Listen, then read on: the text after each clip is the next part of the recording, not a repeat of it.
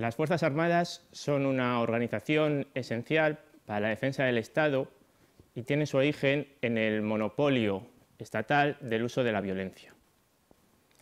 Es cierto que la defensa nacional tiene una perspectiva mucho más amplia que el ámbito puramente militar, pero es del todo evidente que el ejército es un instrumento básico, un instrumento esencial para hacer frente a aquellas amenazas que de un modo más directo, más efectivo, podían poner en riesgo la propia existencia del Estado.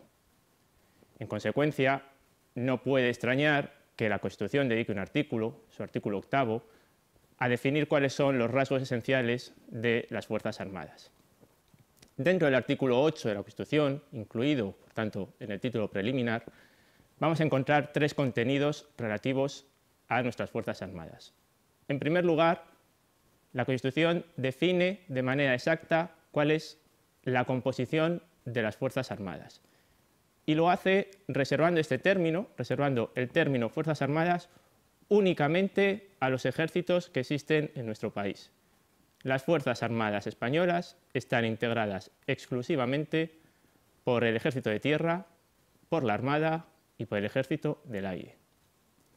La claridad no ha impedido, es cierto, que haya existido, sobre todo al comienzo de la andadura constitucional, un cierto debate sobre cuál es la posición de la Guardia Civil, tanto que la Guardia Civil se suele definir como un instituto armado de naturaleza militar. Bien, hoy en día el debate está ciertamente superado, la Guardia Civil no forma parte de las Fuerzas Armadas, sino que es un cuerpo de seguridad del Estado. Es decir, la Guardia Civil lo que pretende es garantizar los derechos y libertades del individuo y lo hace desde su subordinación al Ministerio del Interior. Ahora bien, es cierto que en tanto que es un instituto de naturaleza militar, en determinados casos, en concreto cuando hay un riesgo bélico o cuando se produce un estado de sitio, la Guardia Civil va a pasar a depender orgánicamente del Ministerio de Defensa. El segundo de los contenidos que establece el artículo 8 en relación con nuestras Fuerzas Armadas es el de sus funciones. El constituyente reservó a nuestros ejércitos las funciones tradicionales de estos. En primer lugar, las Fuerzas Armadas españolas tienen que garantizar la soberanía e independencia de España. ¿Frente a qué? Pues lógicamente frente a las amenazas exteriores que pudiera recibir nuestro país. Segunda función de las Fuerzas Armadas será el aseguramiento, la defensa de la integridad territorial del Estado. En este caso, ya no estaríamos hablando de una amenaza externa, sino que estaríamos frente a un riesgo puramente interno, nacido en el seno del territorio español. Por último, el artículo 8 encomienda una función bastante genérica, pero de primer orden, como es la defensa del orden constitucional. En cualquiera de estos tres casos, de estas tres funciones, ya sea la defensa de la integridad territorial, la defensa de la independencia de España o la defensa del orden constitucional, no podemos perder de vista que no estamos hablando de funciones autónomas. Es decir, las Fuerzas Armadas no pueden actuar de modo propio para llevar a cabo cualquiera de estas misiones, sino que su utilización dependerá única y exclusivamente del Parlamento o, más comúnmente, del Ejecutivo.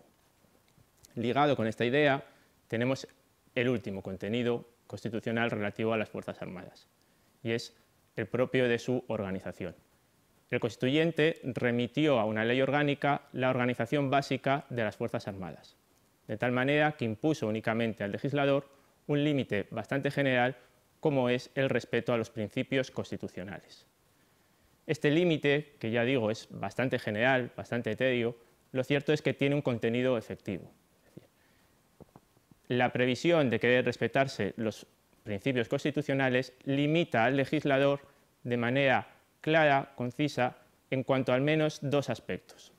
Por una parte, va a impedir que el legislador ponga fin a la subordinación de las Fuerzas Armadas con respecto de la autoridad civil. Las Fuerzas Armadas definidas en la Constitución de 1978 son administración militar y como tal están integradas orgánicamente dentro del Ministerio de Defensa, por lo que tendrán que seguir aquellas instrucciones que les dé el ministro del ramo o el presidente del Gobierno. Y ello sin perjuicio de que la propia Constitución reconozca una función ciertamente simbólica de mando supremo de las Fuerzas Armadas al monarca. Por otra parte, el segundo gran límite que se puede llevar de los principios constitucionales tiene que ver con la juridicidad de este órgano. Es cierto que las Fuerzas Armadas requieren unas dosis de jerarquía y de disciplina que puede distorsionar en cierta, en cierta, medida cuál es el régimen de sus miembros. Ahora bien, lo que no les da al legislador es establecer un régimen completamente separado del propio de los ciudadanos, de tal modo que la jerarquía y la disciplina pueden introducir modulaciones, pero no excepciones. En este difícil equilibrio, las Fuerzas Armadas Españolas cuentan con una jurisdicción propia, la jurisdicción militar, tienen también un código penal propio y un régimen disciplinario específico. Cierra este sistema relativamente especial de las Fuerzas Armadas un régimen limitado de derechos fundamentales, de tal manera que los miembros de las Fuerzas Armadas no van a tener derechos comunes de los ciudadanos como puede ser la sindicación o la huelga.